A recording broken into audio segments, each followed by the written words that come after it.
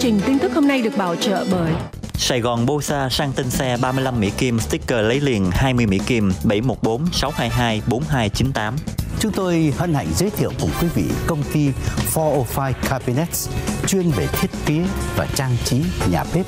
Jin và Kim Thu Jewelry nơi duy nhất bán vàng 4 số 9 có hình bản đồ Việt Nam 714 985 9999 và 714 657 7866. Happy Chew Easy chuyên bán nệm cao su cứng chống đau lưng sản xuất tại Mỹ 714 897 6100 và 714 487 7889. Nature Medic Fucodan độc quyền kết hợp với AHCC góp phần tăng cao hiệu quả khi sử dụng.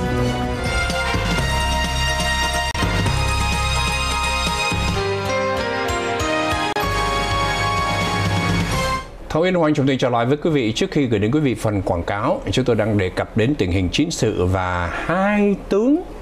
của Nga và thậm chí à, cơ quan chuyên môn chống lại những cái tin tức vịt mà bên phía cơ quan ngôn luận của Nga loan tải đó. Họ xác định là đúng như thế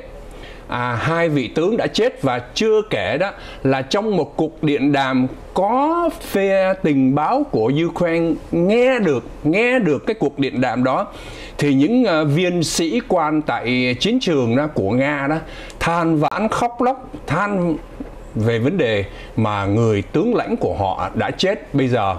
à, người tướng này chết rồi thì lệnh của Moscow sẽ như thế nào trong thời gian tới? Cho nên tin tức vào sáng ngày hôm nay họ nói đó quân đội Nga đang disarray, đang hỗn loạn, hàng ngũ hỗn loạn và đã có những lính Nga đào ngũ bỏ chạy về phía Ukraine để bị bắt làm tù binh. Họ nói thà là bị bắt làm tù binh còn hơn là chết dưới họng súng của Ukraine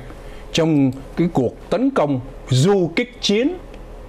Lực lượng uh, tình báo của Hoa Kỳ từ năm 2014 đến giờ đó họ đã huấn luyện cho phe Ukraine và họ lập ra những cái khu vực để mà thao tác chiến sự trong cái nỗ lực bởi vì họ tin đó là khi mà Nga tấn công đó là Ukraine không thể nào đánh với một cuộc chiến bình thường được, mà phải là du kích chiến.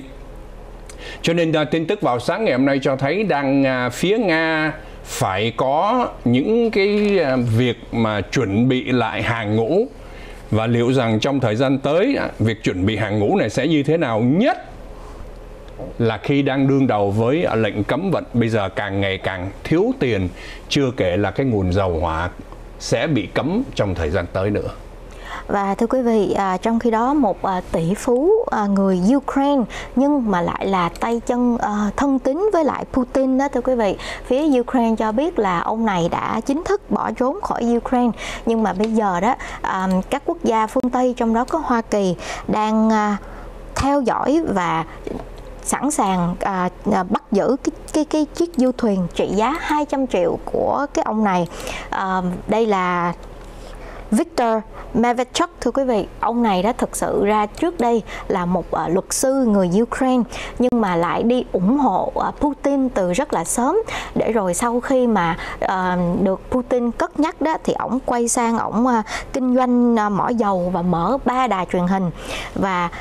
hai người này thân đến độ mà báo chí Ukraine và cả báo chí Nga đó là từng nói là Putin là cha đỡ đầu cho một đứa con gái của um, À, ông Victor này để chứng tỏ là thân thiết như thế nào. À, và bây giờ đó à, trong vòng gần 2 tuần qua đó phía à, báo chí à, Nga cho biết là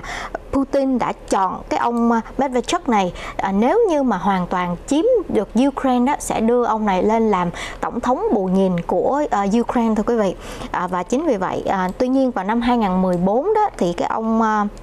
Medvedchuk này à, à, với cái sự trợ giúp của ông ta để mà Nga à, xâm chiếm Crimea đó đã bị Ukraine à, xử tội à, phản quốc và à, à, à, giam giữ ông này. À, nhưng mà lại không có giam trong nhà tù. Có thể là tại vì cái thân thế của ông ta và cái mối liên hệ với Putin nó quá chặt chẽ cho nên là chỉ có giam lỏng tại gia mà thôi thì à, vào ngày 24 tháng 2 vừa qua khi mà Nga à, tấn công vào Ukraine đó thì à, hắn ta đã thành công bỏ trốn khỏi Ukraine. Mà bây giờ đó thực sự cũng không ai biết ông ta ở đâu. Báo chí Nga thì à, cho rằng có một số tin tức nói hắn đã an toàn vào Nga, còn một số thì lại nói là hắn ta đang ở cái ờ, căn biệt thự ở tại ờ, trên bán đảo Crimea. Thì ờ, quay trở lại với cái chiếc du thuyền mà trị giá 200 triệu của y đó, thì trong vòng đầu tuần này, thưa quý vị, một số người công dân ở tại Croatia, họ đã chụp được ảnh cái chiếc du thuyền này đã neo đậu ở đây từ hồi đầu năm nay. Mỗi một tháng cái cái chi phí mà maintain cái chiếc du thuyền này là một triệu Mỹ Kim. Ông ta vẫn trả. Nhưng mà kể từ khi mà uh, ông ta bỏ trốn đó thì bây giờ cái công ty mà maintain cái du thuyền này ở Croatia đó không biết là ông ta sẽ còn trả hay không. Nhưng mà những người mà chụp được cái ảnh này để họ gửi uh, và họ tố giác với lại chính phủ uh, uh, Anh quốc và chính phủ Hoa Kỳ đó thì họ nói là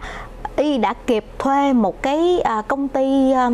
um, bảo vệ tư nhân thưa quý vị là để tránh uh, là các chính phủ đến ờ, tịch thu hoặc là tránh cho những cái công dân ở nước này đó họ ghét họ đến họ đập phá cái du thuyền của y thì ờ, bây giờ đó cái người mà chụp được cái ảnh này để báo cho các chính phủ thì họ nói rằng à, thứ nhất họ báo cho, chính phủ của vương quốc anh trước nhưng mà không nhận được hồi âm sau đó họ đã gửi và báo cho chính phủ hoa kỳ và phía uh, chính phủ hoa kỳ đã hiện nay cử người đến theo dõi cái chiếc du thuyền này không cho y lái đi mất thưa quý vị. Ừ.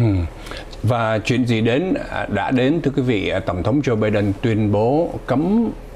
dầu hỏa của Nga nhập vào. Thứ hai, Anh Quốc cũng tuyên bố luôn cùng một thời điểm. Và thứ ba, châu Âu cũng tuyên bố ngày hôm nay. À, bên phía châu Âu nói rằng không có lý do nào chúng ta tiếp tục sử dụng năng lượng của kẻ xâm lăng Ukraine và chưa bao giờ trên thế giới chúng ta thấy là từ hồi thế chiến đến giờ các quốc gia Hoa Kỳ phối hợp với châu Âu và có hành động mạnh mẽ như thế. Và họ sẵn lòng để cho người dân chịu đựng và nghĩ rằng họ có thể chịu đựng được. À, như chúng tôi đã thưa đó là AAA tiên đoán là chúng ta sẽ phải chi thêm 2.000 đô la trong năm 2022 này vì giá xăng tăng cho mỗi gia đình. Thì mỗi một gia đình chịu đựng như thế thì bên phía châu Âu họ cũng biết họ sẽ phải đương đầu với tình trạng thiếu thốn lạm phát tăng. Nhưng mà họ nói đây là cái giáng đòn cần thiết để tiêu diệt chế độ Putin.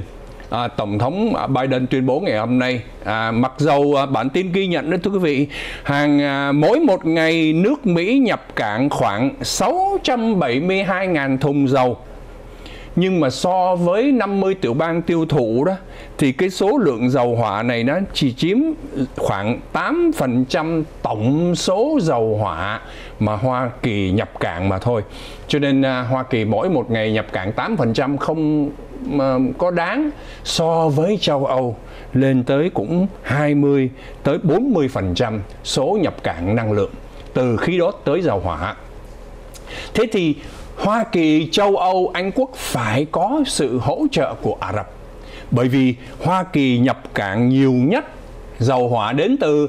Canada, Mexico và Ả Rập Saudi quý vị thấy không? Nước Mỹ có khả năng sản xuất dầu và có cái trữ lượng dầu khủng khiếp luôn. Nhưng mà nước Mỹ đi theo cái khuynh hướng bảo vệ môi sinh, cho nên nhập cảng dầu hỏa nước ngoài nó rẻ hơn so với sản xuất ở trong nước, chưa kể là gây ảnh hưởng đến môi sinh nữa. Và Ả Rập Saudi cũng tuyên bố sẽ phải hỗ trợ trong cái tiến trình này. Mặc dầu Ả Rập Saudi cũng có mối quan hệ trước đây với Nga nữa, nhưng mà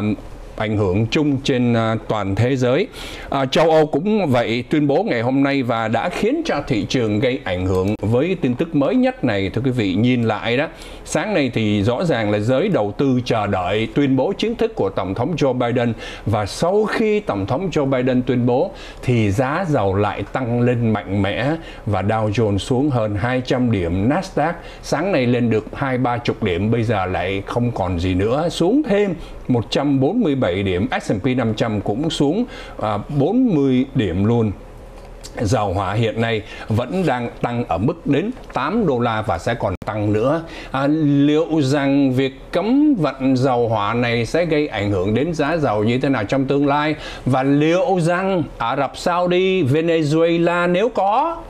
Mexico, Canada sẽ phải bơm thêm bao nhiêu dầu nữa để bù vào cái chỗ mà cấm vận từ dầu hỏa của Nga. Chúng ta sẽ chờ đợi thêm trong ngày hôm nay và những ngày tới. Chúng tôi tiếp tục với à, các bản tin đáng chú ý sau phần quảng cáo. Mời quý vị cùng theo dõi và nhìn qua vàng à, lại tăng lên đến 73 đồng cho một lượng vàng tây quý vị nha, vàng tây chứ không phải là vàng ta trong ngày hôm nay nữa. Trở lại ngay sau phần quảng cáo.